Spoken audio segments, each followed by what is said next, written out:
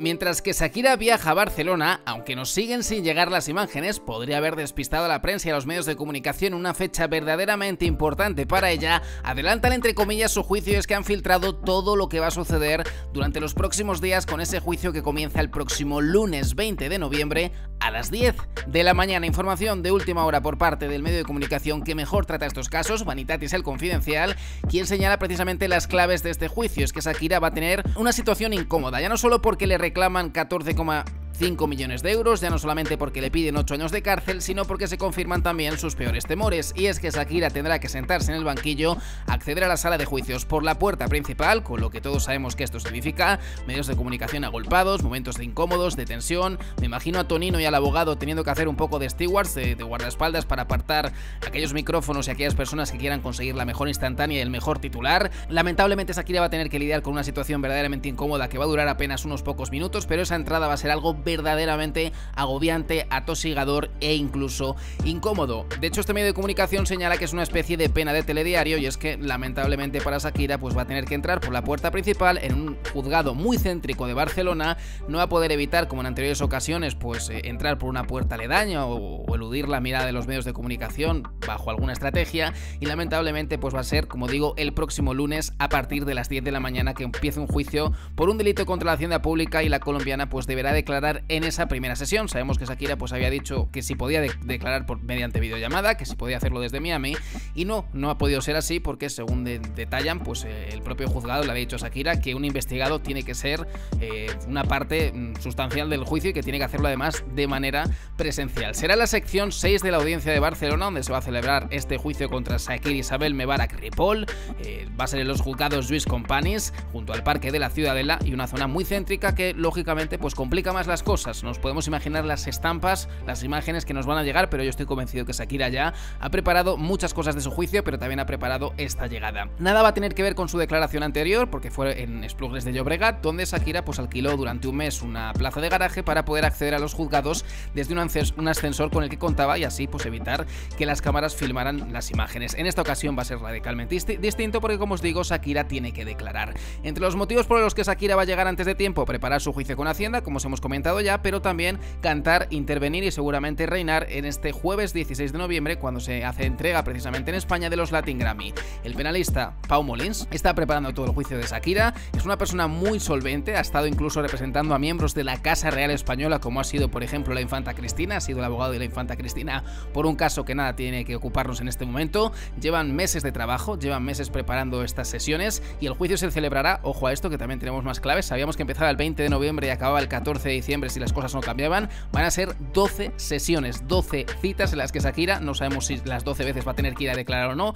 pero asumimos que va a tener que estar presente gran parte de las mismas, va a tener que declarar por esos 6 delitos contra la hacienda pública que le reclaman. Shakira discrepa radicalmente de todo lo sucedido, la, estrategia de la defensa es contundente, tal y como señala en el escrito que presentaba su abogado y que ha tenido acceso a este citado medio de comunicación, discrepan radicalmente del relato de los hechos que está haciendo pues el Ministerio Público, diciendo pues que, que Shakira tenía que haber declarado por el impuesto de la renta a las personas físicas en los ejercicios 2012, 2013 y 2014, así como por el impuesto del patrimonio de los mismos ejercicios. Consideran que Shakira vivía en nuestro país, dice la Hacienda Pública, y mientras que Shakira y su equipo de abogados pues mm, sostienen lo contrario, incluso pues tienen pruebas eh, que lo demuestran, están dispuestos a demostrarlo. Es decir, el juicio va de esto, de si Shakira estuvo 182 días en España o no estuvo más de la mitad de los días más un más de la mitad del año más un día en, en nuestro país. Ahí pasas a considerarse residente fiscal en España, entonces consideran que no ha cumplido con sus declaraciones tributarias. Vanitatis, que es el medio de comunicación que os estoy, del que me estoy informando, señala que, si no se equivocan, hay 119 testigos, 119 personas,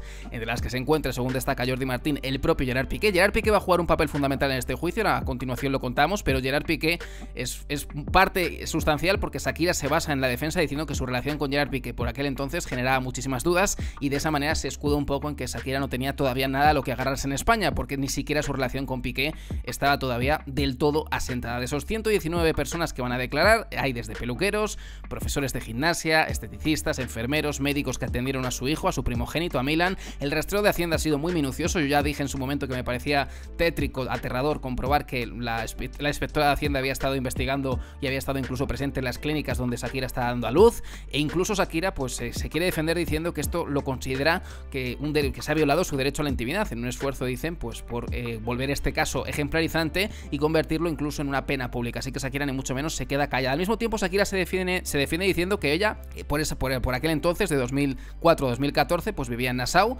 en la capital de las Bahamas, considerada por muchos como un paraíso fiscal. Allí pagaba impuestos y vivía con su anterior pareja, Antonio de la Rúa, cuando se separó, que se tuvo que marchar porque de la Rúa se quedó en la casa, e iniciaron un proceso judicial conflictivo que duró años. Como vemos, las parejas de Shakira están muy presentes en este juicio, tanto Piqué como de la Rúa. La defensa además asegura que ha estructurado sus argumentos en varios apartados que van desde las circunstancias personales y profesionales de Shakira durante aquellos años hasta las estructuras societarias de sus negocios, pasando por los pagos realizados a la agencia tributaria. Shakira se defiende y señala que su relación eh, personal y profesional con Estados Unidos es muy importante en este caso, porque según ella, pues su compañía discográfica Sony Music, sus managers y demás miembros de su equipo de trabajo y financiero tenían oficina en Nueva York y Los Ángeles, también en dicho país donde radica su family office y desde donde en definitiva se gestiona el núcleo central de sus negocios y actividades artísticas. Claro, dice, oye, España me estoy reclamando un dinero que no, que no, que no forma parte de este país. Yo no estoy ganando dinero en España. ¿Que haya estado X días en España? Sí, pero mi negocio no se nutre aquí. Que esto también juega un papel muy importante. Muchos youtubers que se mandan, marchan a Andorra y ahora eh, precisamente España quiere reclamarle cierto dinero diciendo, vale, sí, tú te has ido a vivir a Andorra, pero ¿dónde estás consiguiendo dinero? ¿Con clientes españoles? ¿Con oyentes eh, que te ven desde España? ¿O que te ven desde dónde? Es decir, esto Shakira lo dice porque es muy importante. No solamente importa dónde estás,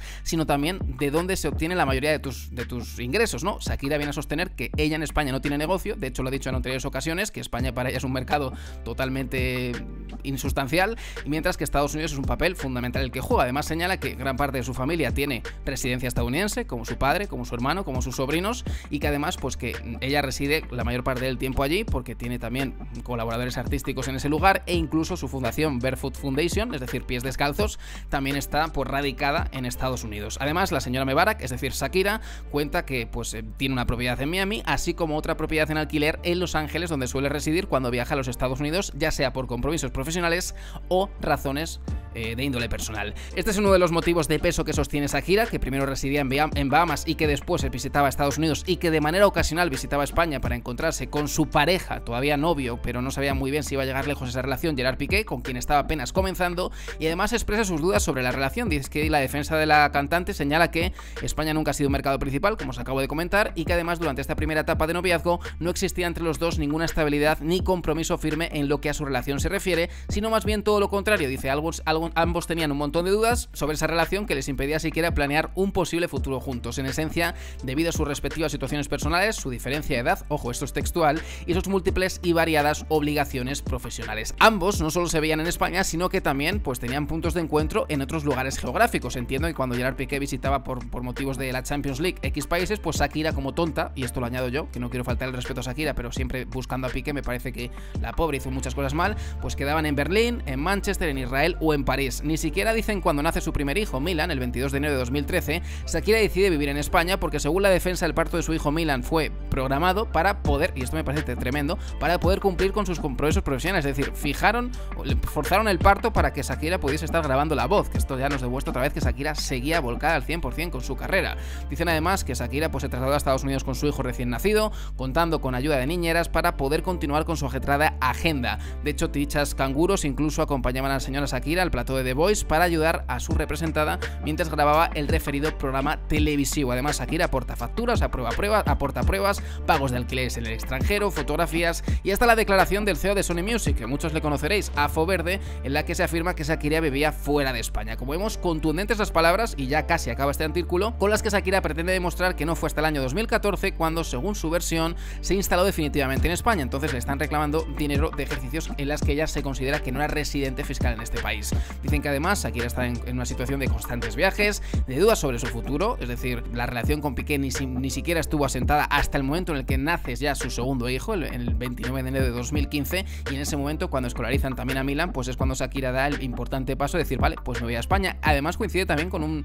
paso importante por parte de Piqué que firma un contrato de renovación de 5 años con el Fútbol Club Barcelona y en ese momento que están enamorados, que tienen dos hijos en común, pues Shakira dice, sí, venga, ya no vivo en, en Bahamas, ya no vivo en Estados Unidos, ya no hago nada fuera de, de España, me voy con, con, mi novio, me voy con el padre de mis hijos y me instalo en Barcelona. A partir de aquí Shakira, pues lógicamente empieza a pagar todos sus impuestos aquí. Esta es la situación que atraviesa Shakira y como vemos, pues este artículo concluye diciendo lo siguiente, que la relación entre Shakira y Piqué pues jugó un papel fundamental porque ni siquiera ella misma estaba segura de la misma. En el momento que dan ese paso, pues dicen que Piqué termina arrastrando a Shakira a vivir aquí en España y al mismo tiempo pues vemos que esta situación ha acabado arrastrando nuevamente a Shakira al banquillo de los acusados, un banquillo el que deberá, deberá sentarse tras pasar ante los medios de comunicación que como hemos, hemos comentado ya, la esperarán con todas las ganas de cogerla y de ponerla en aprietos y en apuros para ver esas imágenes de Shakira entrando a los juzgados de la audiencia de Barcelona, que como te he comentado ya, será ni más ni menos que en el centro de la ciudad, con lo que podemos ver ya no solamente periodistas, sino incluso fans y un goteo de gente casi, casi constante.